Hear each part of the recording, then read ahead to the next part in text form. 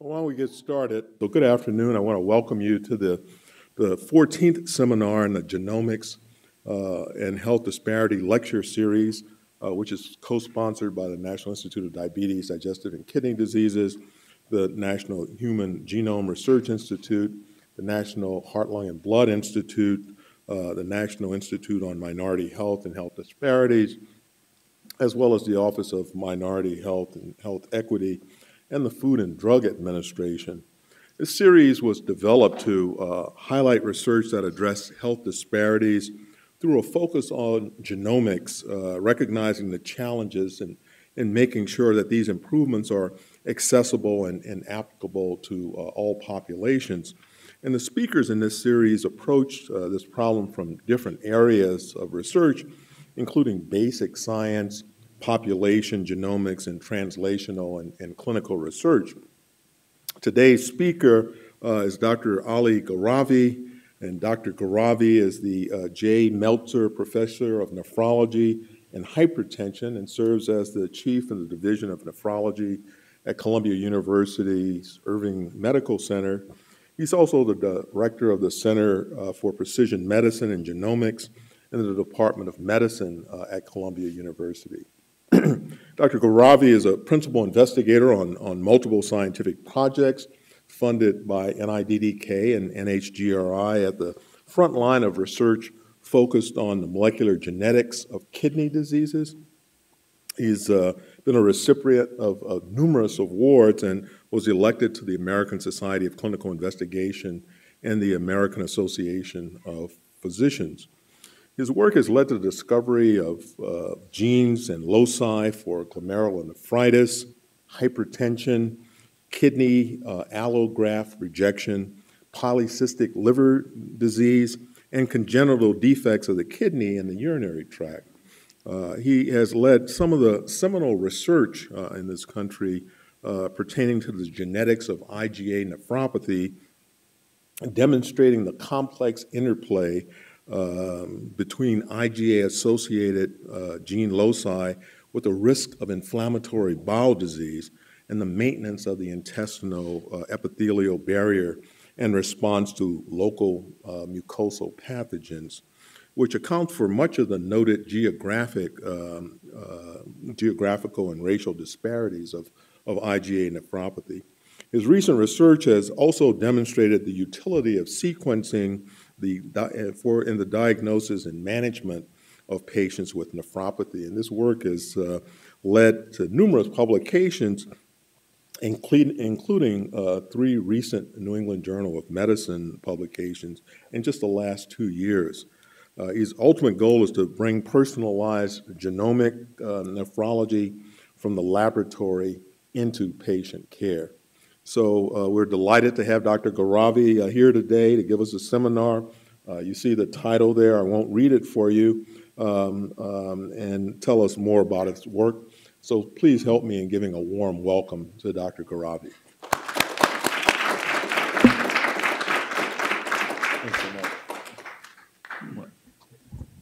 Thank you for this kind introduction, Dr. Rogers. It's a big honor and a great pleasure to be here to give this talk uh, here. Um, and uh, I just let me just uh, get started. I've, I haven't given a talk at the NIH before, so it's really a, a real pleasure. So uh, just some disclosures, uh, some uh, funding through the Renal Research Institute and serving on advisory boards for a couple of companies over the years. Um, but, ma but, major disclosure, however, is that I'm not a health disparities researcher. I work on the genetics of kidney disease. We're trying to find why some people develop kidney failure and what's the underlying genetic cause of uh, disease. But through this, we've come to explore a number of issues related to health disparities, just as many other uh, genome researchers have gone through. Um, the central questions we're asking is the question that patients ask of us uh, when they see us in the clinic, or as researchers, we, uh, we try to answer those through the, the work that we do in the laboratory. And the question questions are fairly simple. What is this disease that I have, doctor? Why do I have this disease? What will happen to me? And what are the treatment options that are, that are available? And in fact, we use this set of questions to, fir, uh, to sort of elaborate and develop the protocol for one of the NIDDK studies that I'm involved in, CureGN, because we wanted to make sure that we are responsive to the patient needs. And so I'm stealing this from sort of the overall goal and, uh, that we set for ourselves from, uh, for CureGN. A twist on this is that nowadays patients can come to us and ask doctors, should we perform genome sequencing to answer some of these questions? Uh, or even better, uh, they may have their genome sequenced in some way or another, uh, and they will come to physicians and ask them to interpret the genome for them.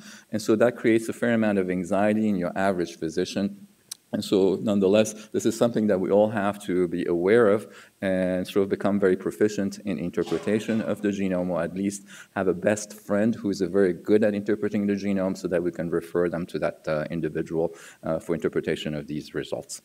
Uh, all of this has come about because we've sequenced the human genome. The Human Genome Project gave us the first draft back in 2001, and now through now uh, uh, incredible advances in ge genomic uh, sequencing technology, we can read genomes in 24 hours under $1,000, which was unimaginable, uh, you know, just a decade ago. And as a result of this, now we can sample large populations and try to understand what is this genetic variation that we observe in this population, which genetic variation is responsible for the disease in the patient in front of us, as opposed to what is background variation that we can uh, ignore in the, in the context of the patient uh, that we have. So my goal today is to just talk about how we've approached uh, sort of the genetics of kidney disease as we've applied successive ways of genomic technologies uh, to kidney disease, going through CKD epidemiology, but then, then talking about how we can diagnose rare genetic disorders through sequencing, talk about some major genetic risk factors, uh, mainly APOL1, how secondary findings, findings uh, through sequencing can influence our management and our approach to chronic kidney disease, and maybe discuss really briefly some uh, issues around predictive testing. So just some background epidemiological slide. Uh, this is data from NHANES. Uh, about 14% of the population has some level of kidney dysfunction, uh, and you can see the different stages of chronic kidney disease from stage one to stage five, five being the most severe. Uh, CKD is an equal opportunity uh, disease, and when you look at it, when it comes down to health insurance, income, and education, it affects all strata of the population. However, when you start to look at people who develop kidney failure and need dialysis or a transplantation to, for survival, there's a big disparity in terms of ethnic and racial uh, composition. And you could see here that there's a lifetime risk of about, uh, let's see if I can do this right, of uh, about 8% if you're an African American uh, for developing uh, end stage kidney failure, and that number is about half or less than half of that uh, if you're a, a, a, white ancestry. And you're probably somewhere in between if you're uh, you know, of Hispanic ancestry. And so this is very apparent if you're a nephrologist and you walk into a dialysis clinic, you see a disproportionate number of African Americans who are on dialysis. So the question has always been why, and I think there's been major advances in genomics, uh, uh, in fact contributed by uh, people sitting in this room who have helped us explain this disparity uh, to, to a large extent, almost all of it, uh, in fact. So uh, the most common causes of death in, for chronic kidney disease are cardiovascular disease and cancer. So it's really, again, no different than the general population. It's just that this happens over a compressed period of time. Uh, and so if you look at survival in patients with end-stage kidney failure, well, you know, it's improved quite a bit over the years, but it should, it's not great still. So the overall survival rate from in 2011, five years after starting on dialysis of some form hemodialysis is sometimes less than 50%. Uh, you do better with transplantation, uh, obviously, uh, particularly living donor transplantation. Uh, but in fact, there's some bias here because not everybody who gets selected for transplantation, uh, those typically are healthier uh, in general.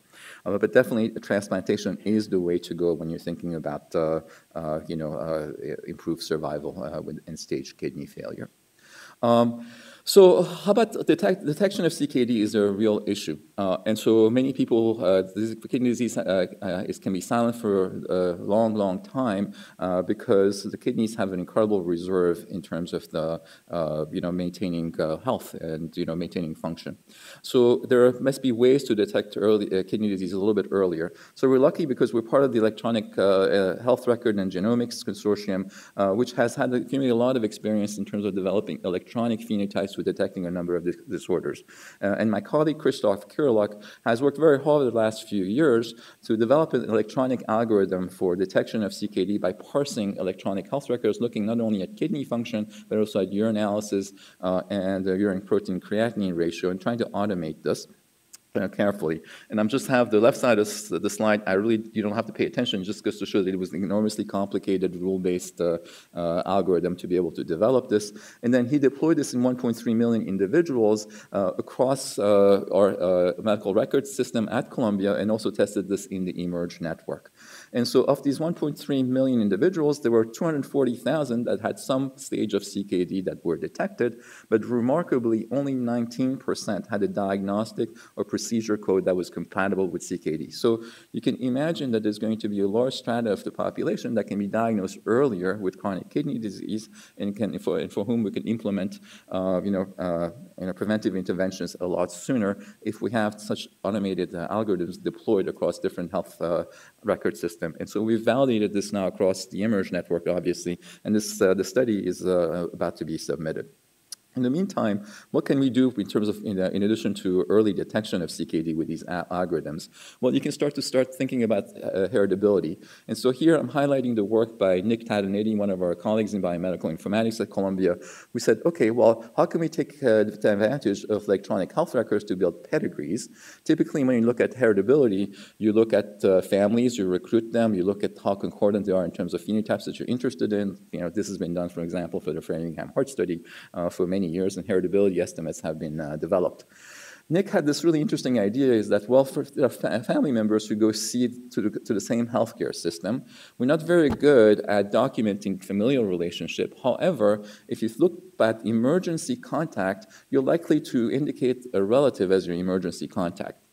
So it turns out that if you look through the healthcare system, uh, at least uh, or at Columbia, most people name their mothers as their uh, uh, as their emergency contact. And so as a result of this, now if multiple people indicate the same person and as their mother, in fact, as their emergency contact, now you can start to build pedigrees. And so parsing our electronic health record system, Nick was able to build uh, pedigrees for 595,000 pedigrees and start to look at heritability for a large number of traits, many of whom hadn't been, which hadn't been studied uh, using the sort of the standard epidemiological approach.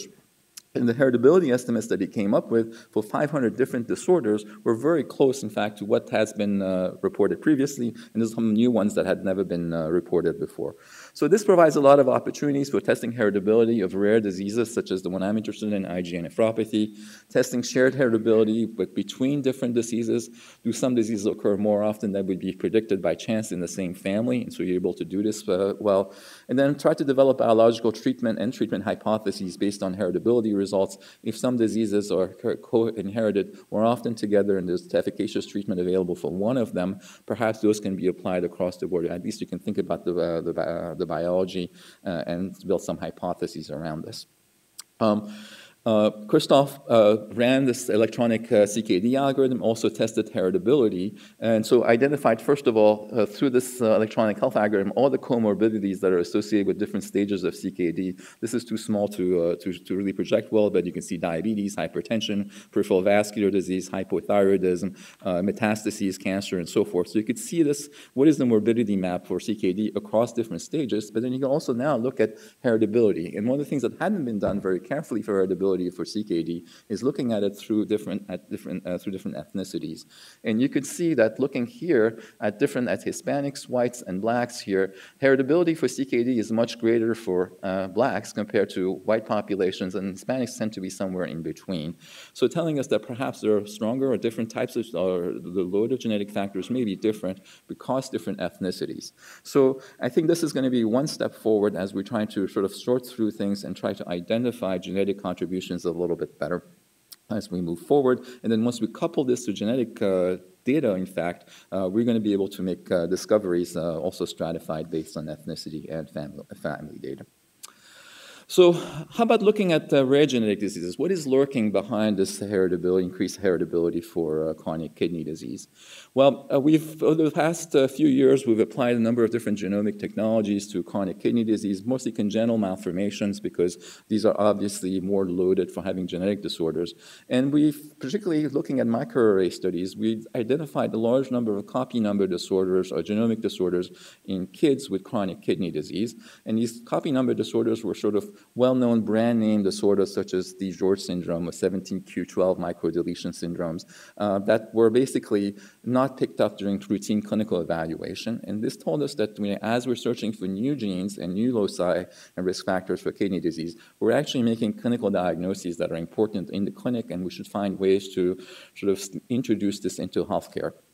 Uh, when exome sequencing came online with the pilot study in, uh, in uh, adults with chronic kidney disease, uh, and we saw a diagnostic rate of about 25% in a selected population of 92 cases with early onset CKD or kidney disease of uh, unknown cause. And so we wanted to do this now at scale, however, you know, to be able to convince ourselves that there is a utility for genomic technology for diagnosis or management of kidney disease. Um, but uh, we, so we had to look for funding and ability to do this. We built a large biobank at Columbia of patients who had come to see us, but now we need to be able to sequence them. So at this time, we were very lucky that David Goldstein joined, uh, who's a, who's a, a geneticist, uh, joined us to lead the Institute of Genomic Medicine uh, at Columbia. And I managed to convince him, based on these data, that uh, kidney disease is the most important disease on this planet and that that's what he really needs to study. Uh, and so fortunately he believed me and so we wound up doing the study that was led by Emily Groopman, a really talented MD PhD student in my lab. She's now completed her PhD, has gone on to clinical uh, rotations. So we had 2,200 cases with chronic kidney disease from Columbia and then we also partnered with AstraZeneca who had a biobank of about 1,100 cases from a, a clinical trial of statins in patients with end-stage kidney failure. So altogether, we had about uh, 3,300 cases with uh, kidney failure or chronic kidney disease that we then that underwent whole exome sequencing. We wind up doing variant annotation based on the American College of Medical Genetics diagnostic sequence uh, interpretation. And so this is the cohort uh, and the study that was published earlier this year in the New England Journal, uh, where we had most, mostly uh, adult population, 90% of them were adults, equal distributions between male and female, and then importantly, we had a really nice distribution across different ethnicities, uh, reflective of the you know, diversity of population that uh, develops uh, kidney failure and important for genetic studies because many of the, many genetic studies, as you know, have been primarily conducted in populations of European ancestry. And so we want to make sure that whatever we do is going to be applicable across ancestries.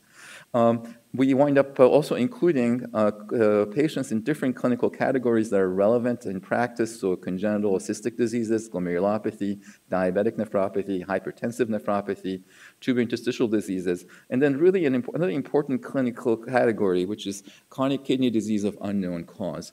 It turns out somewhere around 5 to 15% of patients with chronic kidney disease, depending on the series that you look at, have kidney disease of unknown cause. They show up too late, and no diagnostic test is really going to be revealing of what they have. And so frustrating for the patients, for the doctors, not quite sure what's going to happen to them. And so those fundamental questions that the patients ask of us, we're unable to answer. What is this disease? In terms of looking at family history, as I mentioned, about a third of the patients had a positive family history of kidney disease. So this is the punchline uh, of the, the study. Um, you know, we had an overall diagnostic rate of about 9% in this population, uh, but the diagnostic rate varied between different clinical categories. Uh, and so the highest diagnostic rate was seen in patients with congenital cystic kidney diseases, about 25%. On the other side of the spectrum, we had diabetic and hypertensive nephropathy, where the diagnostic rate for a Mendelian disease was about 1 to 2%. And so this told us that clinical evaluation by a nephrologist here is going to be really important before you send somebody and will help you determine what is going to be the diagnostic yield for sequencing for this population. It also told us that, that we can have some confidence in the clinical evaluation by a nephrologist. So typically hypertensive nephropathy or diabetic nephropathy is not diagnosed based on you know, a kidney biopsy. It's a clinical diagnosis. And so we, there weren't a lot of genetic diagnoses being missed in this particular category. Um, the big surprise for us was in this category of chronic kidney disease or end-stage kidney failure of unknown cause, where we had a 17% diagnostic rate. So this is, if you're talking about health disparities, this is a population that you know essentially is not able to, for whom we're not able to provide the very first basic uh, answer to their question. And so here, at least one in five, one in six individuals you will be able to provide an answer. Um, this is, you know, again, a chronic kidney disease population uh, that has been evaluated by tertiary care medical practice or was, uh, you know, enrolled in a clinical trial. So this is not somebody who people who just came in and had an elevated creatinine and people didn't think about them too much. So I, I want to emphasize this. So this doesn't mean that we can just send exomes for anybody where we just don't want to think about the patient. But nonetheless, I think this is very uh, heartening. And so this has been also reproduced across smaller data sets nowadays where uh, looking at transplant populations, people have seen exactly the same thing. You can explain a lot of CKD of unknown cause that way. So what lurks behind these uh, diagnoses? We had 307 patients who had the Mendelian genetic disorders, but there were 66 different genetic disorders that we identified there were six genes that accounted for you know 60% of the diagnoses. So polycystic uh, kidney, PKD1 and PKD2, diagnostic of uh, dominant polycystic kidney disease, made up a good chunk of the population. Many of these patients already had a diagnosis of a uh, you know cystic kidney disease, so this didn't come as a big surprise.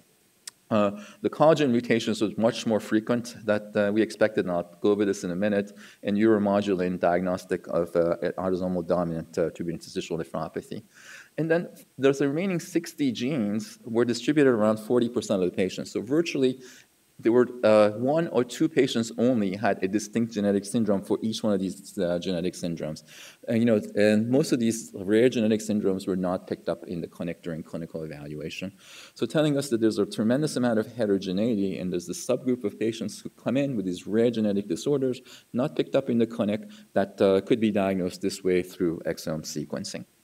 So let me give you some case scenarios. This is a 57 year old who is diag- newly diagnosed with kidney uh, disease with blood and protein in the urine and a kidney biopsy was performed, uh, and the patient had uh, focal segmental glomerulosclerosis, which is a form of nephrotic syndrome. Uh, and this type of uh, disorder is usually treated with uh, you know, sort of empiric immunosuppressive therapy.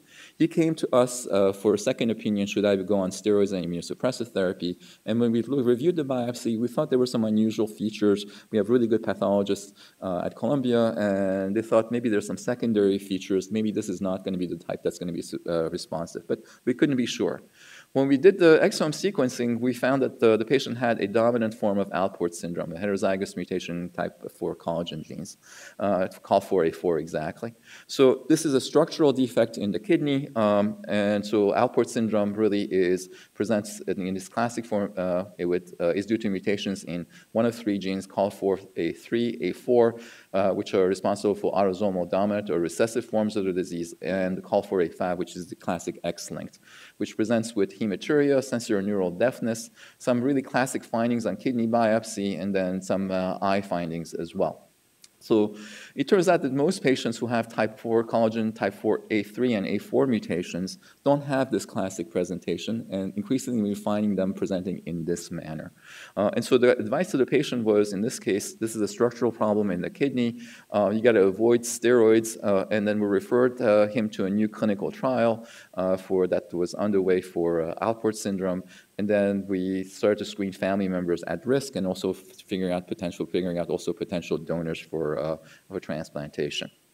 So it turns out that uh, type 4 collagen mutations were the most commonly missed diagnoses uh, uh, in the cohort that we sequenced. And here, this is this, we had 92 patients who had pathogenic mutations in COL4A3, A4, or A5, and only 40% of them, under 40% of them, had a diagnosis of Alport syndrome or thin basement membrane disease, which is a related disease. The remainder had, you know, CK were labeled as CKD of unknown cause, hypertensive nephropathy, glomerulonephritis not otherwise specified, and this important category of focal segmental glomerulosclerosis. And this is an important category to recognize again because these patients are empirically subjected to immunosuppressive therapy with no hope that actually that they would uh, respond in any way, and they would only be subjected to the side effects and the deleterious effect of immunosuppression.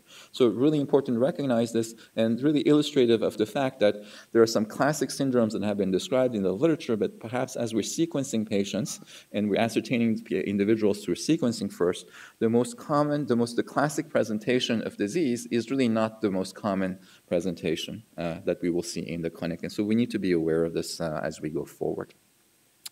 Um, and this is something that's uh, uh, you know, been recognized by others now, multiple papers showing that your type 4 collagen mutations are cause focal sclerosis or are commonly mistaken, uh, mistaken for FSGS, and we need to be uh, aware of this. Um, so there are consensus, uh, you know, statements that have come out as a result of this, saying that anybody who has a heterozygous mutation uh, or uh, that's detected through sequencing should be not labeled as having Alport syndrome. And so, uh, so the question really is, and there are also consensus guidelines that say, well, maybe that shouldn't be the case, and they should be diagnosed as having type 4 or being at risk for COL4 associated nephropathy. And the reason for this is thinking about health disparities and about genetic labeling of individuals uh, diagnosing somebody with Alport syndrome and putting this into their health records when they have a heterozygous variant in this one of these uh, genes, particularly if they're a family member of somebody who's affected and you're now a carrier, it's not clear whether you're going to develop disease or at what time. We don't have enough data, but labeling them as Alport syndrome will have really important consequences for insurability, uh, especially disability insurance, health insurance, uh, and so I think that we need to think about this a little bit. So genetic testing here can provide you, you know, uh, an early diagnosis uh, for patients, identify folks who are at risk, but you know, have to, yeah, but that comes with the risk of labeling them. So this, we need to think about this carefully, and I think this is not the only case that we're seeing in nephrology, and this is uh, across the board in other disciplines. Here's another case. This is a 20-year-old who was admitted uh, after a suicide attempt. Um, and he has no formal psychiatric history, but then you know he has a history of neurocognitive impairment growing up, uh, poor learning, poor you know uh, uh uh, social communications. He dropped out of school at age 16. Uh, and uh, his mother, and, actually was estranged from his family, uh, and then his mother called me when he was admitted for the suicide attempt, and she called me because he has a history of solitary of a solitary kidney diagnosed at birth, and he was told he's going to be just fine. She had asked his pediatric nephrologist whether the kidney disease and neurocognitive impairment were related, and had been told no. But then, based on some of the work we had done, she said, "Well, maybe we should do genetic testing because we think that uh, this, these things may be related." Contrast this to another one patient that was seen uh, in our clinic, 64-year-old, who was referred to us with low magnesium in the blood, but on workup was found to have numerous cysts in both kidneys. The renal function was okay. When you talked to her, she said, oh, doctor, every time you do a test in me, find, you find something new over the years. People have found I have diabetes. I could never have kids because I have uterine malformations. And then we did some more blood tests, uh, and she had also elevated PTH. She had no formal history of psychiatric disease, but she said she could not finish uh, college, even though she tried for many years, and that she thought there's something I couldn't, I just couldn't do it. So um, these two individuals have exactly the same diagnosis. They have a mutation in uh, this transcription factor called HNF1 beta, uh, which causes uh, a syndrome called renal cysts and diabetes syndrome. Uh, sometimes there's a microdeletion that encompasses this gene, and that's that's uh, and the microdeletion encompasses 1.2 million bases, and it's called the 17q12 uh, syndrome. Um, it's also known as maturity onset diabetes type 5 of the young type 5 all these different disorders. So HNF1 beta is a transcription factor. It is expressed in multiple tissues, uh, including the kidney, where it controls the, uh, the, expression of multiple genes that have been implicated in polycystic kidney disease, such as PKD2, PKHD1, UMOD for tubulointerstitial nephropathy, but also controls the expression of a number of tra uh, uh, uh transcription factors and pathways responsible for uh, beta cell development. it also controls the expression of a number of genes important for the GU tract development development. As a consequence, then, mutations in this gene causes, cause a number of different uh, complications illustrated here. So the most common abnormality is the kidney malformations presenting as single kidneys, renal cysts, hypoplastic kidneys, a lot of different uh, manifestations uh, uh due to the same mutation. The patients also have abnormalities in handling magnesium, hence the reason why the second patient was referred to us. They, ha they have abnormalities in handling gout. They have early onset gout, which is typically in disproportion to the level of kidney dysfunction. Um, they have genital tract malformations. Um, uh, uterine malformations is a very common one, so hence issues with uh, conceiving and And in addition, uh, they have pancreatic hypoplasia. The, uh, the, diabetes typically occurs later in life, in their 20s and 30s. Um, and so uh, they're, they're prone to developing diabetes. And uh, you know, pe most people you know, note the kidney malformation, but they don't necessarily, uh, they figure this is maybe type 2, regular type 2 diabetes when people develop this in their 20s and 30s. But has, this has important uh, implications, particularly if you diagnose this before they develop the diabetes, because you can try to teach your patients about uh, weight management. If they develop kidney failure, then you really need to tailor the immunosuppression regimen carefully because steroids can produce diabetes, uh, induce insulin resistance. And so this has implications for management. In addition, large studies have now shown that in individuals who have the 17q12 microdeletion, there is a two to threefold increased risk of intellectual disability, autism, and schizophrenia. So right here, you could see how this the mutation in this one uh, transcription factor can explain the clinical presentation in the first patient and ties in the kidney malformation together with the neurocognitive issues in the first patient, a 20 year old with a suicide attempt. Uh, and so the mother was right that there's a connection between the two of them.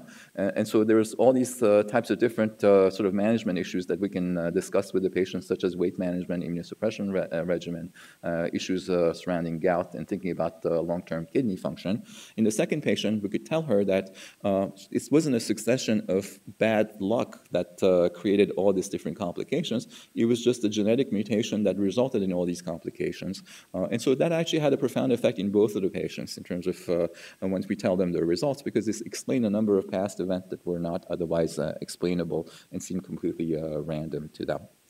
Um, this, this finding of neurocognitive dysfunction is actually important in the setting of chronic kidney disease because uh, impaired neurocognitive function has been and, and, is a known complication, particularly in children with uh, chronic disease, but also been noted in, uh, uh in adults with chronic kidney disease.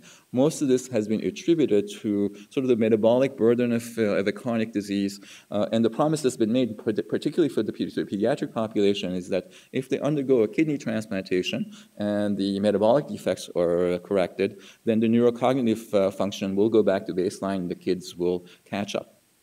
Well, one of the things that we did find uh, in this uh, population uh, is a very high rate of genomic disorders and genomic imbalances. And so when we looked at two studies now in two NIDDK cohorts, one is uh, the chronic kidney disease uh, in a children's study, uh, and as well as the chronic insufficiency cohort, there's a very high prevalence of genomic disorders in this population, about 8% in children and about 1.5% in adults with CKD. The prevalence rate in the general population is somewhere between 0.3 to 0.5%. So there's an enormous uh, excess risk of these genomic disorders. There are 45 different disorders. These are all well cataloged, well known as being pathogenic in the literature. Again, some of them are really well known, such as the chromosome 22 uh, Q11.2, uh, the microdeletion syndrome, the DiGeorge syndrome, the 17Q12 uh, microdeletion that I was just telling you is also really common, and you can see all of them. Most of these microdeletions uh, have been described in the literature in the context of schizophrenia, autism, and neurodevelopmental delay, uh, but uh, also in terms of congenital heart disease. So basically, this told us that these are syndromes that are presenting uh, to different clinicians. The cardiologist is taking care of the congenital heart defect, the neurologist or the pediatric psychiatrist is taking care of the neuropsychiatric issues, the pediatrician, pediatric nephrologist is taking care of the, uh, the kidney problem, but they're not always putting the whole thing together. And so it's just through genetic testing that you're able to, to, to, to address this. And so that has an important implication in terms of thinking about the next step for the patient's uh, care because, well, if you have a genetic lesion that predisposes to kidney failure, heart, uh, you know, heart malformations, neurodevelopmental malformation uh, defects, you know, fixing the kidney failure is going to be great for the patient's health, but it's not necessarily going to address the neurodevelopmental issues. And so, in fact, when we looked uh, in the CKID cohort, uh, looking at kids who had one, carriers of one of these genomic disorders and those that didn't, there was like an eight-point difference in IQ, which was highly uh, statistically significant. There was they scored also higher on uh, uh, on executive uh, abnormalities and executive function, functioning, as well as sort of the ability to make the decision making, and then on depression scores as well. And all of this was independent of the severity of kidney disease. Similarly, we've looked at the CRIC cohort where we have a mini mental status exam, and sure enough, uh, the genomic disorder carriers are less likely to complete uh, high school uh, and also score lower on their mini mental status ex exam uh, right from the beginning. So this tells us that this is a comorbidity that we see in CKD, but the causal relationship may not be related to the severity of chronic kidney disease. It may be related to a genetic disorder that impacts both. And in thinking about these uh, patient population, I think it's important to recognize this how genomics can empower you in trying to take better care of them uh, as we move forward and not misattribute uh, some of these complications just to chronic kidney disease. So how about uh, you know uh, some of the genetic risk factors for uh, uh for uh, kidney failure? And here I'm going to talk to you with APOL, about APOL1 uh, with some trepidation because here we have Dr. Kopp, Dr. Winkler, Dr. Parsa, who've made seminal contributions to our understanding and discovery of APOL1. but so so bear with me and don't correct me if I say anything wrong. so this so you know, one of the major advances here came uh, back in 2008, where both uh, Cheryl and, uh, uh and Jeffrey uh, wind up mapping uh, the, uh, the, the locus for, for this disparity in increased, increased risk of end-stage kidney failure in African Americans. And here they use an admixture mapping approach and found a really, you know, strong signal on chromosome 22.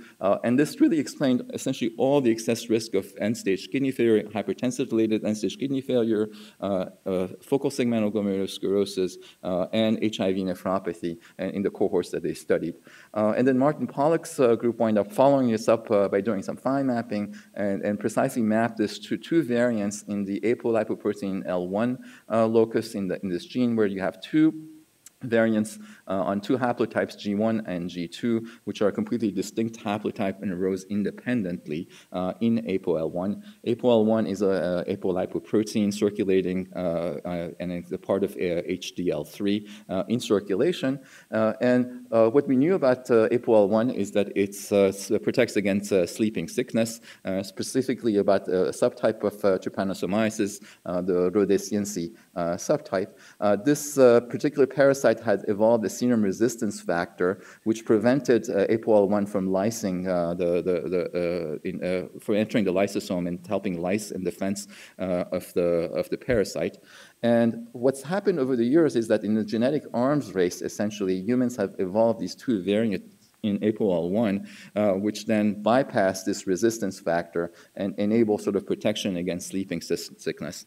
And so this is a classic uh, sort of uh, heterozygote advantage uh, that has uh, you know, spread like wildfire, particularly in West Africa. And here you can see distribution of the G1 and G2 allele, particularly you could see it's very high in uh, West Africa.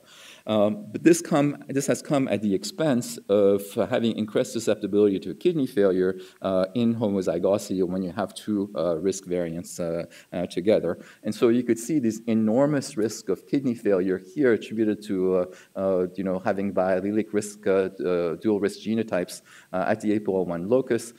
You could see these enormous odds ratios for HIV nephropathy, uh, for FSGS, and then end-stage kidney failure, uh, non-diabetic end-stage kidney failure across different populations. And so there are many, many studies that have replicated this over and over again. It's very clear that this is a really major uh, you know, risk factor and explains most of the variation and the risk in kidney failure in uh, African Americans uh, in, uh, you know, as we see it. So uh, Afshin has gone on and showed, also showed that uh, there's uh, APOL1 is a major risk factor for progression of kidney failure. Um, and what was, what's really interesting is that in terms of increased susceptibility, uh, the, the, dual risk genotype increases susceptibility to what we used to know as hypertensive nephrosclerosis, FSGS, and HIVAN, but not to diabetic kidney disease. Nonetheless, APOL1 is a risk factor for progression of nephropathy. Uh, and so here you could see the bars with the high risk individuals with high risk variants, whether they have diabetes or not, they're much more likely to progress uh, to, uh, uh, to kidney failure. What's also really interesting here is that, you know, in terms of thinking about disparities, here this is the curve for white individuals, and even black individuals who have the low risk variant have an intermediate uh, risk of uh, kidney failure, telling us that there are additional factors that may be influencing the risk of progression uh, to kidney disease in this population. I think this is going to be a really interesting uh, study to follow up on uh, to understand what are all these different uh, you know, risk factors involved. So these, some of these questions that then come about in clinic then, you know, is, is exemplified here. A 35-year-old African-American man who's diagnosed with focal sclerosis and has uh, chronic kidney disease. He has a brother who has kidney failure is on dialysis. Now he's thinking about the preemptive transplant. Uh, and so the question is, who should donate in, in the family? Should he get, uh, you know, should, be, should any living uh, related donor uh, uh, donate to him? What will happen to the kidney that's donated? What would happen to the patient, the, the individual individual who's donated the kidney. The reason for this is that here, looking at the Morgan Grams' work, uh, it's very clear that looking at the two bars that are up here, the lifetime projected incidence of end-stage kidney disease is much higher among African Americans compared to uh, non-African Americans, to white men and women. And so the question is, what is? What is the uh, what is the reason for this? We still don't know, but there are certainly there's an elevated risk. And so when you're thinking about somebody who's going to donate at age 20, well, the risk of lifetime risk of kidney failure is considerable. You know, so you have to think about this a little bit more carefully than those that uh, uh, you know uh, than uh, somebody who's uh, non-African American. So so what's the role of APOL1 genetic testing in CKD care? Um, should living-related donors be considered? And so how would that change our ability to allocate organs for African Americans? African Americans uh, compose a disproportionate number of uh, individuals with end-stage kidney failure, but there's a lower donation rate among the African American community, so it's more difficult to find compatible, uh, you know, uh, uh, donors uh, as well. so if we start you know, uh, excluding some patients uh, based on their APOL1 genotype, how is that going to, is that going to create a different disparity? And so this is uh, important because, well, we have data from this. This is data from Jeff Kopp's group uh, showing, this is a really nice study with longitudinal follow-up, showing that the APOL1 risk genotypes in African Americans, uh, when they have their live kidney donors, they have lower pre and post-donation renal function. This is up to 17 years of follow-up, from what I, uh, if I remember correctly. Um, nonetheless, when you, when you, on the aggregate, you see these really big differences. Nonetheless, when you look at other studies, when they looked at the individuals, population-based studies, and looking at the decline in renal function, it's very clear that if you have the high-risk, blacks with high-risk genotypes have a steeper decline in kidney function. Nonetheless, there's a lot of overlap between different individuals who do and do not have the risk allele. So how do you personalize this, and how are you going to go about doing this uh, you know, well? And this has tremendous implications. So we wrote this case uh, series in precision medicine around this topic in the Annals of Internal Medicine, and sort of to, to sort of make things a little interesting, we, we asked, what is the probability that a living related individual to somebody who already has, uh, who has a, uh, the APOL1 risk genotype uh, will also have a risk uh, genotype. And it's, you know, I was actually really surprised by these calculations. So if the in index case has the risk genotype, then the sibling has about a 50% chance of actually having the risk genotype, which doesn't intuitively make sense if you're thinking about just sort of a risk factor. Uh, and that's, you know, but because this is so common in the population, and because you ascertain from family families which are enriched for APOL1 risk variants, once you condition on somebody who already has dual risk genotypes, then you're talking about really uh, a new high risk family to begin with. So, uh, so I commend the uh, NIDDK and the NIH to initiating the Apollo study, which is going to prospectively look at the risk of kidney donation in African Americans who are undergoing uh, kidney transplantation. I mean, this is a super important and uh, really uh, exciting study where Columbia is one of the participating sites. So I look forward to getting the results because I think this is going to be really important to get this right uh, as we move forward to, you know, to match the right person to the, to the with the right kidney. Um, so and, and another way to do this is try to come up with better ways of matching kidneys. And so one of the things we wind up doing is for many years is to study this phenomenon of rejection. Um, uh, this was work that was done in collaboration with Christoph Kiryluk and led by Nick Steers, who are, who's our uh, uh, you know, uh, card-carrying immunologist in our group. Uh, we hypothesized that beyond HLA, there may be other risk loci for rejection uh, of kidney transplants. And the way we wound up thinking about it is that if there are a lot of genes that are non-essential, and some people are knocking, uh, walking around as knockouts for these uh, genes. So if, I'm a knockout for a particular gene that's uh, non-essential, uh, but I need a kidney transplant at some point, and I get a wild type kidney, my immune system may recognize that particular uh, protein that's encoded by that gene as a novel antigen and may mount an immune response.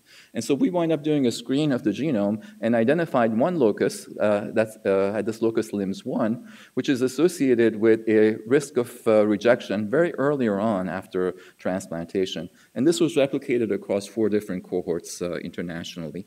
Uh, and the risk conferred by this risk genotype is equivalent to having three HLA mismatched.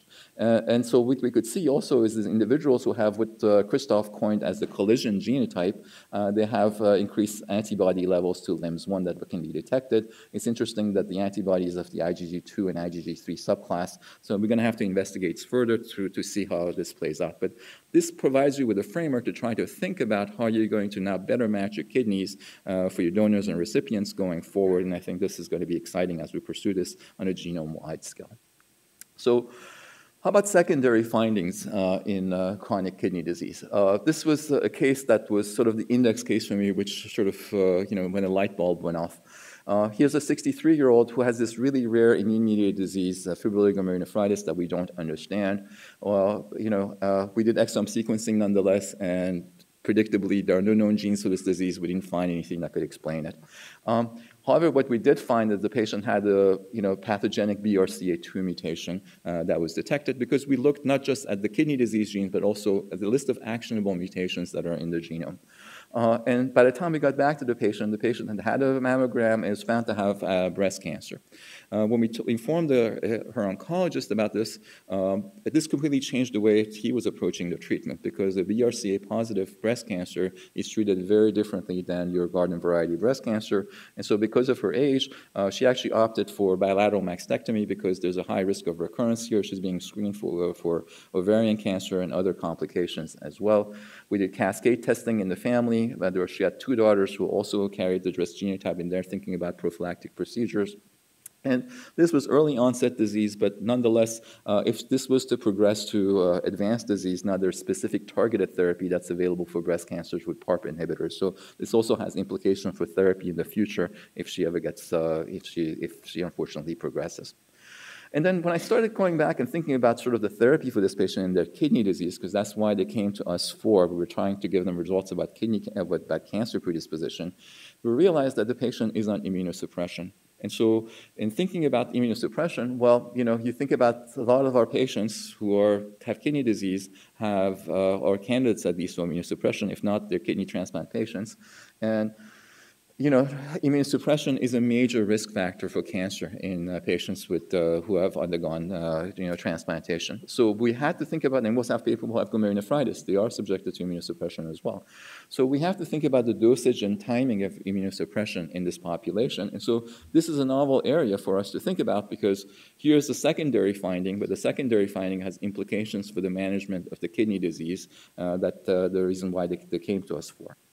So um, in fact, we have many secondary findings that have implications for kidney disease management. I talked to you about immunosuppression for, uh, uh, for you know, in patients who are predisposed to cancer, but many patients are diabetic, and there are insulin therapy. And so if you look at the epidemiology, uh, insulin therapy is also associated with increased risk of cancer epidemiologically. And so thinking about, again, somebody who's prone to cancer, uh, maybe you don't think about, you know, a high-dose insulin therapy, maybe you go to alternative regimens in this population as well. Our patients are anemic uh, and they're erythropoietin, and those drugs are also associated with risk of, uh, you know, uh, cancer. So maybe we should think about adjusting the dose of immunosuppressive therapy in this population. Um, a subset of patients had familiar uh, uh, genetic uh, diagnosis of cardiomyopathy or, or cardiac arrhythmia. Uh, and so here, electrolyte management and the choice of antihypertensive therapy, antihypertensive therapy is also very important uh, in terms of managing uh, their kidney disease. And so we have to change the, way we think about it.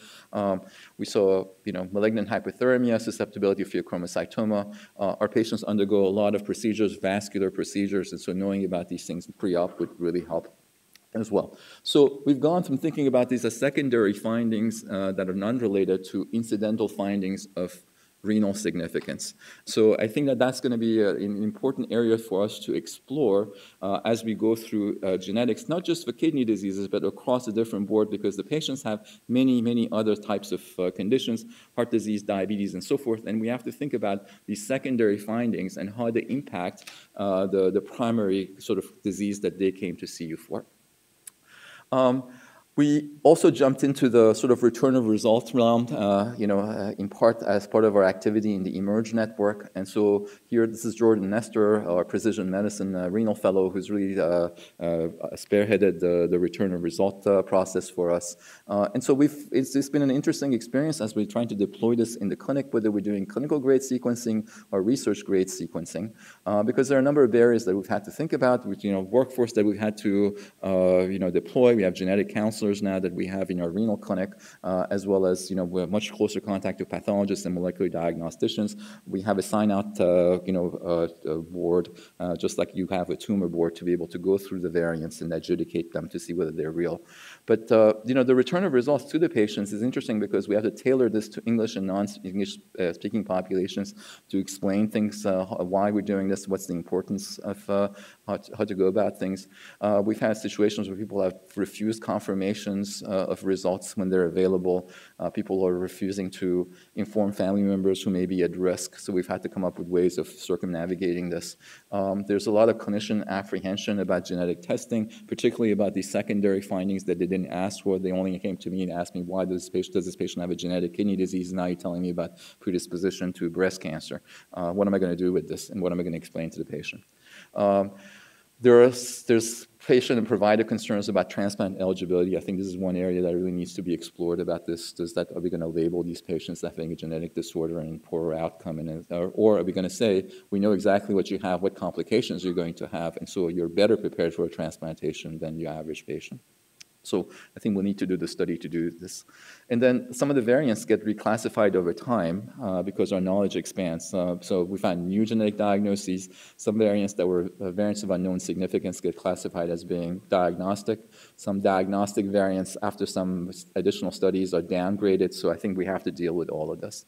So We've tried to develop tools for patients and then assess the efficacy of these tools. For example, these are clinical vignettes uh, for patients to consider as we're returning the results. So this one is, says the, the doctor, the letter said no genetic risk factors were identified. So will I ever get a genetic disease uh, once I've been tested negative? And so the answer is, of course, no. You may be getting still, you know, if you don't have a genetic cause for breast cancer, you may have, you still may get breast cancer from other causes. And so you'd be surprised. Most uh, patients don't understand this concept, and they tell you that uh, have a clean bill of health based on genetic testing. Hila Rasouly, uh, a talented uh, physician, uh, scientist who's also a genetic counselor in, uh, in, the lab, developed this really rapid test for testing genetic literacy. It takes a two-minute test. It's a word recognition test. and it turns out somewhere like 50% of the patients don't understand words that we typically commonly use in genetic testing, such as penetrance, heterozygosity, actionability. So we need to do a better job in terms of explaining things to them. And so these types of tools will help us enable us to assess things a lot better. Um, and then maybe two minutes on predictive testing uh, on, uh, uh, for, for genetic diseases. Um, we had to develop a catalog of uh, you know, genes that uh, cause uh, kidney failure because there's no ClinGen effort to look for kidneys, uh, for kidney annotation, although that's changing now and there's now a kidney group that's being formed. Um, but when we annotated 700, 650 genes that we found to be associated with kidney or urologic disorders in 8,000 individuals who were self-declared to be healthy, uh, we wound up doing some basic filtering, which is just looking at allele frequency of 1% and then looking at previously purported pathogenic variants uh, in ClinVar or HGMD. And this is the 1% cutoff is what's the sort of the starting point based on the American College of Medical Genetics uh, diagnostic criteria. We found something absurd. 22% of these healthy individuals had a genetic variant that could have been uh, classified as a risk factor or a diagnostic for kidney disease. So this told us that we need to do a much better job of cleaning data sets because most of these were attributable to previously reported variants that uh, uh, were erroneously reported as being pathogenic. And so we need to, you know, clean up the databases a lot better. But still, once, once we wind up doing a lot more stringent filtering and we did manual curation of the variants, we still wind up with 1% of individuals who wind up with a variant that kind of looked really suspicious. And so these are the type of variants that may be returned as incidental findings to patients with somebody who gets sequencing for other reasons, and then this gets discovered, and then this generates a referral to a, uh, to a nephrologist, which then necessitates maybe you know evaluation, more healthcare expenditure, a lot of anxiety uh, uh, for everybody. So we need to do a better job of cleaning up, but also finding better ways of you know diagnosing patients uh, and making uh, rigorous calls based on uh, genetic analysis. And we're not alone in the kidney field. This has been picked up across the, the genetics community is really well aware of this issue. Uh, and uh, some of this is exacerbated by the fact that the variant databases have been are enriched for European populations. So many variants that are rare in European populations when be common in uh, other ethnicities may be mislabeled as being pathogenic. And so this was one of the sort of index papers that really showed the, the potential for genetic misdiagnosis uh, in, in the population. So um, uh, the, the other part about risk factors and thinking about uh, health disparities is this issue of polygenic risk scores. So, summing up all the genetic variants across the genome to try to identify people who are at highest risk, not because they have a single genetic uh, variant that increases risk of disease, but it's in the aggregate that their genome essentially is loaded with genetic risk factors for a particular disease. So, uh, these are two seminal papers that were just published uh, in their classics already. This is looking, this is work from uh, Sek Kathiresan's lab at the Broad. Where he showed for coronary heart disease that individuals who are in the topmost percentile for coronary heart disease with genetic risk have fivefold increased risk of uh, disease. And here, this is looking doing the same study for obesity, where you ascertain a prospective cohort for genetic uh, for polygenic risk for obesity, and you realize that if you see looking for birth to middle age, there are at increased risk for extreme obesity, bariatric surgery, coronary heart disease, and all the comorbidities associated with uh, obesity. So here's another way we can be able to predict risk and risk stratify patients. Nonetheless, these genetic risk scores have all been uh, polygenic risk scores have all been developed in European populations for the mostly, and the portability across ethnicity really varies quite a bit. So we have to be able to address this uh, across the board. Uh, and so an example of this is how this kind of genetic risk scores can help is with IgA nephropathy, uh, where the, uh, you know the disease that I study, it's a glomerulonephritis. Uh, it's the most common cause of kidney failure in East Asia, and is really rare in Africa, and then intermediate in prevalence in Europe and North America. and so when I went to medical school, they explained to me that there are very few doctors in Africa, and that's why you never diagnose IgA nephropathy. There are very few nephrologists, no biopsies get done. In East Asia, uh, uh, the nephrologists are way too aggressive about doing kidney biopsy, and so they overdiagnose this or they diagnose this early. And in Europe and North America, we do things just right, and that's why we have an intermediate prevalence. Okay, so um, and the, the, major issue is who develops kidney failure in this. And so, just a snippet: we've done genome-wide association studies again to, uh, in collaboration with Christoph Kiryluk. We've identified now, you know, uh, over 30 loci for this uh, disease and computed genetic risk scores, but when you project the genetic risk score uh, for IgA nephropathy uh, across 85 populations across the globe, you could see that in East Asia, the, there's a much higher genetic risk for IgA nephropathy in the population compared to Africa, and Europe is somewhere in between. And this was a bi-ethnic GWAS, so this was not influenced by sort of differences in population prevalence as we asked in ascertainment. Uh, and so it was clear that whether you calculate genetics risk score based on European or Asian, uh, you know, genetic risk scores, it's always the gradient is, uh, you know, toward increased towards uh, uh, East Asia. And so, in fact, this starts to explain some of the variation in the you know, uh, prevalence and frequency of uh, IgA nephropathy. It wasn't just the doctors who are not making uh, the diagnosis. And, from, and we just saw some results from H3 Africa from a biopsy study that was published, uh, uh, that was presented at the Kidney Week uh, this last month. And out of 765 patients that were biopsied, only three had IgA nephropathy. So there it's very, very rare in Africa. so, and presumably because of genetic and probably environmental factors. So um, just to say that you know, we need to do a better job of ascertaining these polygenic risk scores across different populations. And so this is a paper by Don, uh, Mark Daly, which highlights the risk of not doing this uh, properly across different uh, ethnicities. And I'm happy to say that I'm one of the multi-PIs of the uh, NIH All of Us program, and we are really trying to do this right uh, with uh, increasing diversity uh, across different populations. And so we have 84% of our populations here in New York can be included as one or, you know, into one or more of the underrepresented in biomedical research categories in terms of race, ethnicity, gender, educational attainment, uh, income, and, and, geography. And we look forward to this study uh, really going forward. there are over 230,000 individuals who have been recruited so far. 22,000 of them are in New York, and we look forward to this being, you know, a landmark project. Uh, and we're trying to do all we can to enrich this for kidney diseases, so we make sure that we're, uh, we, we, study the kidneys well uh, in this cohort. So um, a lot of different uh, opportunities for making a primary diagnosis, the thinking about prognosis uh, and risk of recurrence of disease based on genetic uh, testing. Uh, we can think about selection of therapy uh, in some cases, but not enough to think about th targeted therapy. Yet we can avoid some deleterious treatment or futile treatment for some patients. Uh, there are a lot of risk factors that we can identify for patients to risk stratify them better. We can fa screen families and donors. We can think about surgical complications for transplant or vascular procedures based on secondary findings. Um, uh, we can think about risk of cancer uh, in this patient population. Uh, we can think about the risk of diabetes. Again, this these different, different examples here. Uh, and then risk of uh, atherosclerotic disease and vasculopathy. And then finally, there's a lot of opportunities for pharmacogenomics, particularly in the transplant population. So I'm going to stop here. I'm going to thank all the folks who have been involved in these studies. This has been a really multidisciplinary effort. Uh, uh, want to mention Hila and Emily, who've done a lot of the front line work on uh, the genetic diagnostic part, collaborations with Simon Sanna-Cherchi and Christoph Kiryluk. Uh, the collaboration with the Institute of Genomic Medicine and David Goldstein was really essential, uh, as well as uh, sort of working with the eMERGE group, all the pathology and nephrology group at Columbia, collaborators at AstraZeneca, and then the NIH cohort, the CKID study in particular. Uh, and then all of our funding, and I've benefited quite a bit from a number of different NIH initiatives, whether as being part of the network or funding mechanisms. So I, am very grateful for uh, all the support. Thank you.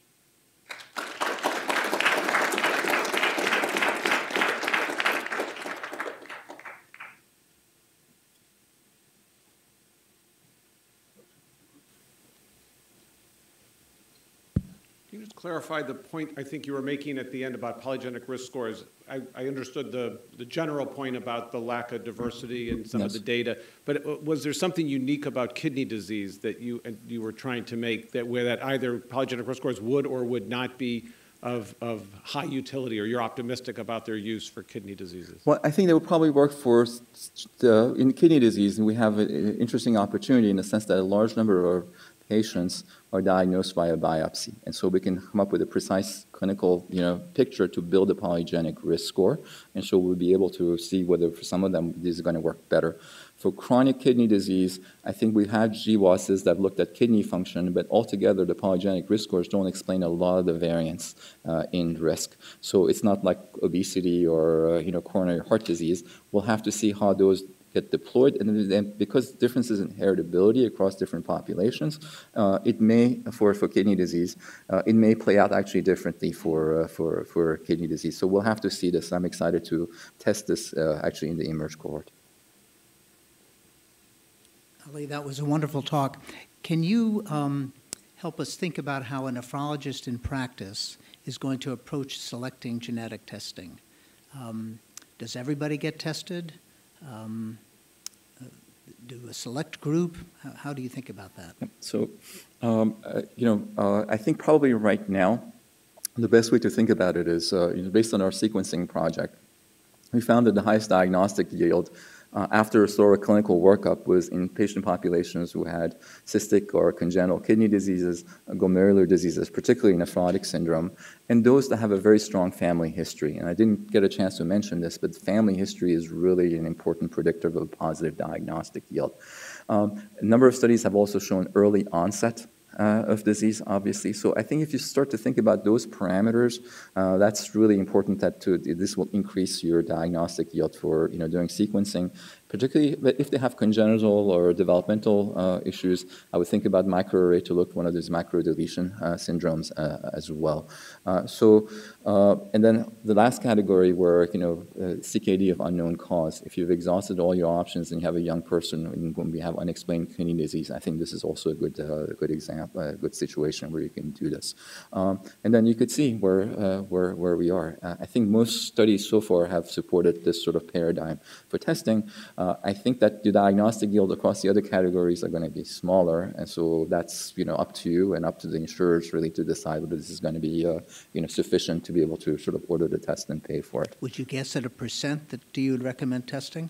A percent of putting together all those indications is that 20 or 30 percent of well, if you think about family history, 30% of the patients that we deal with have a positive family history of kidney disease, and it's regardless of their. Uh, it's going to be uh, greater yeah. than that. Uh, and so that might be one cut that you may want to take, and if you take early onset kidney disease, that might be another way of uh, trying to look at it.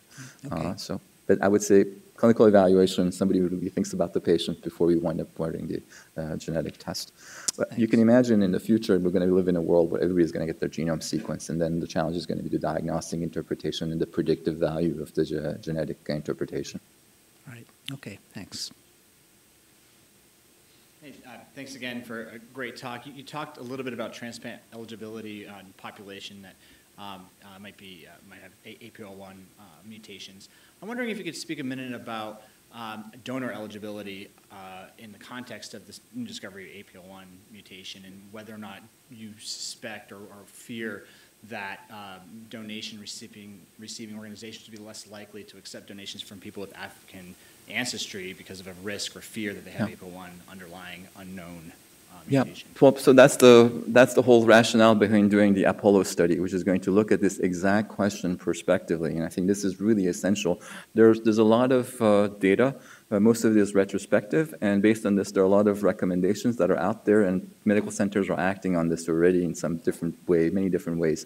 So there isn't a uniform approach. It's very clear that from the retrospective data that uh, donors who have dual risk genotype are at increased risk, but it's not every single one of them who's destined to develop uh, kidney failure. And I think that the only way you're going to wind up doing this is by uh, doing this prospectively and studying this uh, really well uh, to see exactly who you want to select for transplantation uh, and not creating a disparity, as you're, as you're saying, of labeling individuals as being high risk. Identify really folks who are truly at higher risk for developing kidney failure if they donate. And then actually, this will be a way of uh, improving sort of allocation and reducing the fear in the community. There is fear about kidney failure because everybody in, in African American community, there's awareness that there's an increased risk of kidney failure in, in general in the population in terms of knowing about the, this genetic risk factor. Some proportion of the population also knows about it, and so they are informed, uh, and they, they also want, uh, the, they come to you and they ask you want uh, the testing done uh, as well. And so you have to be able to provide the data, and I'm hopeful that the Apollo study will provide the data so we can thank, do this thank right. You. Thanks again for a wonderful talk. Um, you, in your early slides, you classified uh, glomerular nephropathy and tubular interstitial nephritis separately from um, diseases of unknown origin. Does that imply that we know the origin of those two diseases, or? I'm talking as a clinician. So we have these uh, labeling, uh, you know, we have these diagnostic criteria. Uh, and so there are, you know, diseases that we know that affect primarily the glomerulus, uh, you know, mostly based on biopsy. And there are diseases where you could see the glomerulus is intact, but most of the pathology is in the tubular interstitium. Uh, and so those, cat- those categories of diseases have been shown, at least you know, in terms of genetics, they're different. And so you do classify them differently. Uh, but uh, in terms of looking at the precise molecular mechanism pathogenesis, in a subset of glomerular diseases and tubular interstitial diseases, we actually do because we have genetic disorders. So we know uh, what the gene is. Sometimes we don't know what the function is, and so, so on and so forth. So you can go down you know, that, okay. Uh, that path quite a bit. Yes. Um, beautiful, beautiful, very clear talk. So, so I understand that genetics are primary to everything. We want to talk a bit about second hits. Yes. I mean, you know, yep. are there things that we should be looking for after you do the genetic testing? How's that? Sure, I think that's, uh, you know, the, uh, the second hits, I think in, in, the, in the case of APOL1 is really critical. Uh, I think the story about the, the increased susceptibility to HIV nephropathy tells you something about inflammatory pathway, viral infections. Uh, and there's a lot of data about inflammation increasing the expression of APOL1, and that might be a milieu that may exacerbate or, you know, unmask this genetic susceptibility. So I think that there's a lot of, the, so the genetic data can actually sort of sometimes give you a window into sort of the environmental, uh, you know, cause of uh, disease as well. And so that might help you. So, you know, if you find a mutation in metabolic pathway, uh, you know, so the CoQ10 mutations, uh, the CoQ10 pathway mutations that give you FSGS, uh, they're right there. It's metabolic pathway. You know that the, what the environmental sort of uh, uh, therapy for this would be a CoQ10 supplementation. Um, for IgA nephropathy, this gradient that we're seeing uh, across the, the globe for the genetic risk score for this disease correlates very well with the prevalent, the diversity of helminth uh, and so it makes you wonder about intestinal pathogens and you know mucosal defense. And so here, uh, I think here this is where the germline data can help you understand the, the second hits and environmental factors. But we're still in it's not we still don't have enough information. Hi. So, Ali, given the fact that the number of genes that you found mutations in wasn't a, a massive number of genes, could you envision something that like the clonal hematopoiesis assays that are going on in the hematology field, where they're now kind of screening for a select group yep. of genes instead of necessarily sending out these patients for whole genome or yep. whole exome sequencing that might make it a little bit more available for a larger group of people? I, there are definitely now uh, targeted panels available uh, across the board. In fact, that's some of the recommendations right now is to think about the targeted panels. So then you know you don't have to worry about secondary findings and so forth. Uh, and then you ask a very focused, you're testing a very focused hypothesis. Um, you know, so it really depends. We've actually looked at the performance of targeted panels by creating virtual panels out of exomes.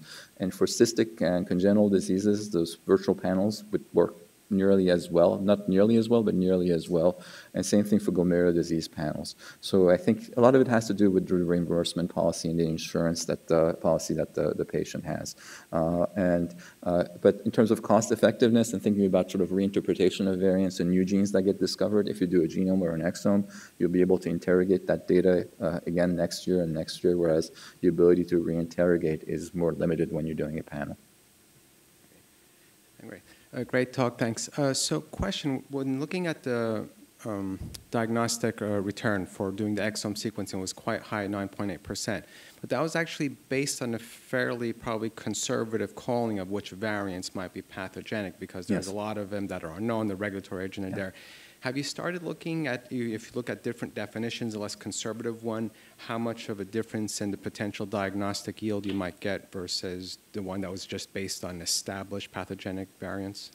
Um, yeah, so we, we did a companion paper where we tried to say, okay, how much the burden of rare variants in different genes across the genome in an effort to discover new genes. And you could sort of look at the delta, let's say, between the rare variants in collagen genes that you didn't detect with this method and uh, you know by variant annotation. And there's a small gap uh, there that you can detect based on you know really filtering for ultra rare variants.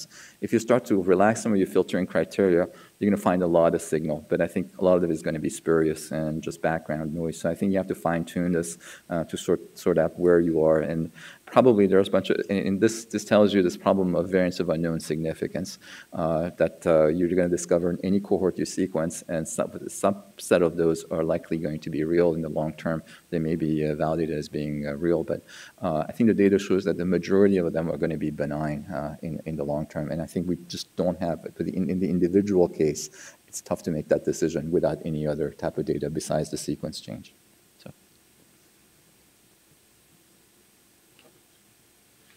Um, so uh, Dr. Rogers had to leave because of a meeting at, starting now. But I want to thank everyone, and I want to thank Ali for a really beautiful talk. Thank you.